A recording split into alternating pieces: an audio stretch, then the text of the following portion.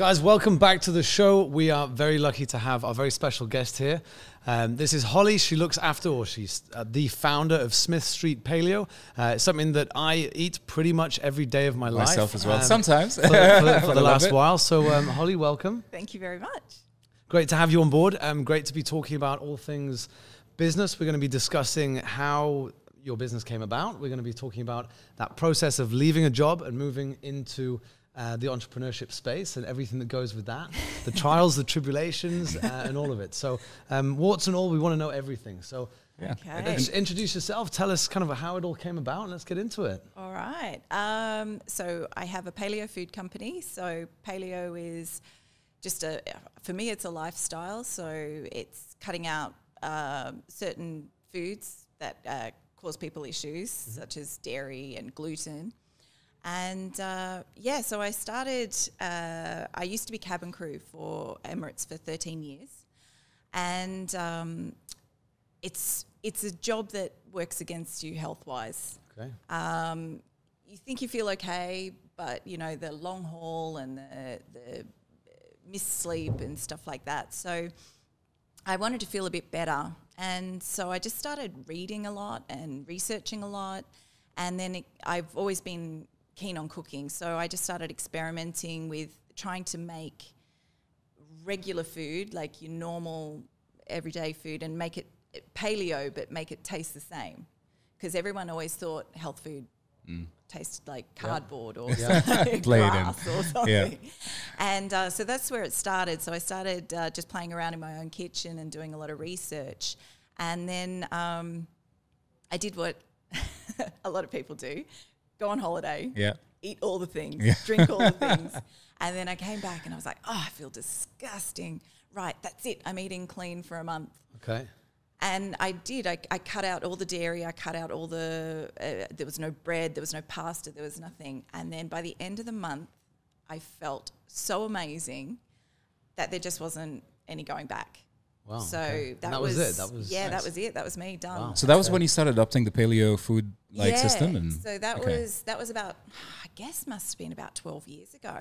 And, And- Marcus and I have, um, my husband and I have eaten that way. Yeah, ever since. So for, for, for the people who don't know, uh, yourself and Marcus are kind of like the idols of the fitness community Oh. right now, right? So like you you you're you're so like embedded in within, of course, the you know the fitness community within Dubai and of, and, and also within the CrossFit community. So there is a, a huge link between like paleo food and CrossFit. Yeah. Is that how it all kicked off for you? Um, guess you just I started hearing about it. So maybe it was when we started CrossFit. I don't know.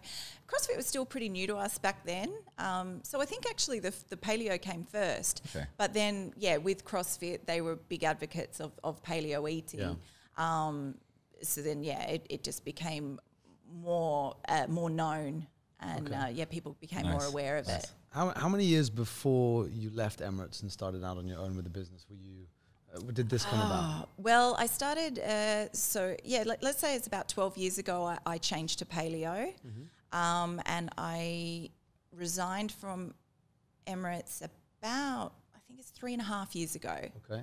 So I was doing, I, I was eating this way. I was taking all my own food on flights. I would um, search out things on layovers, restaurants, cafes, health food shops, that sort of thing. There wasn't a lot of ingredients available here then, so I would like my suitcase would. I'd be bringing back all Getting sorts questioned of at Dubai airport, like, what are you doing here? What, like, Experiments. okay. Um, and yeah, no, I just started uh, sharing my recipes with um, with people at the gym because I Yeah. um, I was that's what I was saying to Jen earlier. I was like, I'd be like, oh, I made these amazing pad thai noodles, but I made it out of zucchini, and Nice. and they're like, can you can you share that recipe with me? So I would email, um, Okay. you know, people, and then I was emailing one person, two people, three people, and then Yeah. you know, when I started emailing loads of people, then uh, that's when Marcus said, "Come on, we'll put it on the on the gym website, and maybe I that's remember, a nice yeah, and there was that recipe section on the on, the on Yeah. the first website, right? and then that sort of became quite popular. Mm-hmm. And uh, so then it was like, okay, time for my own website. So then we built a website, um, and I was still crew at this time, and Yep. it was just it was just basically a little bit of fun, like a little little bit of a blog and Nice. and where I could just share recipes with people. I mean, how many people visited? I have no idea. Yeah. It was probably my my mum and my sister. and, But there was clearly a few from the people. gym. You built a business out of it, so there was clearly a few people. So, so t- take us through the, the, let's say this journey where you. St- I mean, a lot of people have these passions. A lot of mm. people start to kind of scratch that itch, and and th- there are many business books out there that will say that scratching your own itch is the best way to mm. actually find. Um, what it is that you might then end up building a business because it's something mm. that obviously it frustrated you personally. You you didn't have what you wanted in the in the food space in the in the in the local market. You saw that there was more of a you know your friends started to engage with that as well. And now you start to say, okay, well, my passion is starting to actually resonate with other people. And then there's obviously a tipping point there where you're like, I can build a business out of this. Yeah. And then it goes through to where you are now, and, and we'll get onto that in a second. But take us through that process, because you know I've I've gone through that process personally. Yeah. Dia's been through that process. It, it, it always happens in different ways, but there's always the the scratching of the of the personal itch that then develops into something that's a bit more substantial. So take us through your journey in that space. So I guess it was. Um, how can I put it?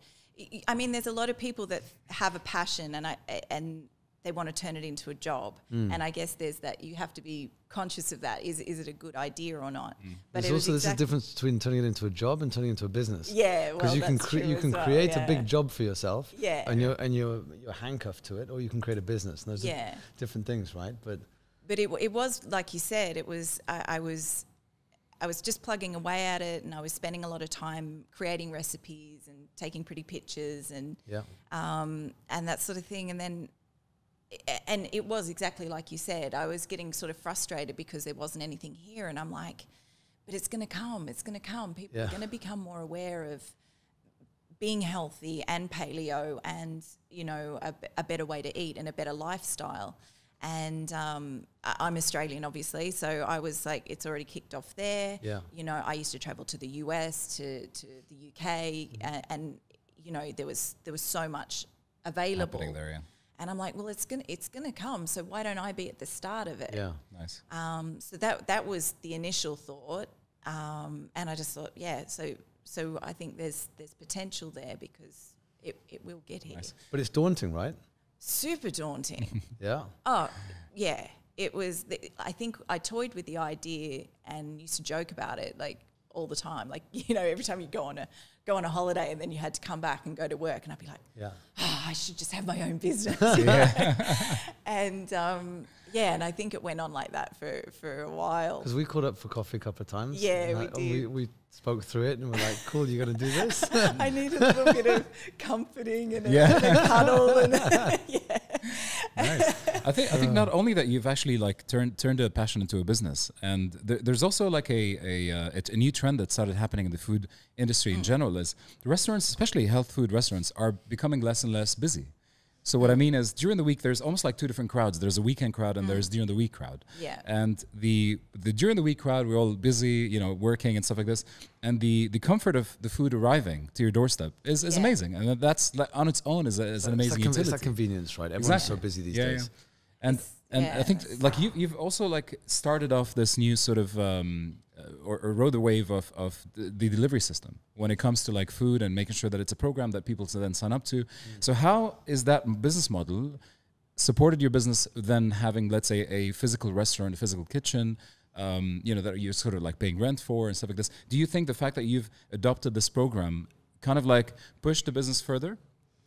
Yeah, with the you mean with the meal deliveries? With the meal deliveries, yeah. Um, yeah, a hundred percent. Because when I started, I had this dream of having a load of products and seeing all my products with my logo all lined up on the supermarket shelves, and I could go in and admire it. And Yeah, yeah, nice. that was the idea. This rosy picture of running a Yeah. business. uh, everything just looks amazing.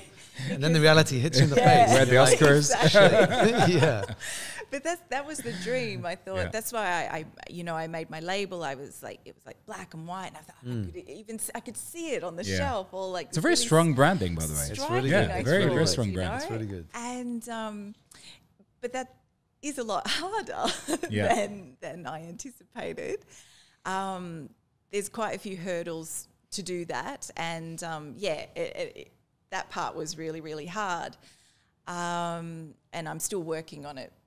Years later. But uh, and and it hasn't died. That idea hasn't Yeah. Yeah. died. It will happen. I've we're still we're still buying that product. Yeah, we just yeah. had a but conversation. there's so many more products to come.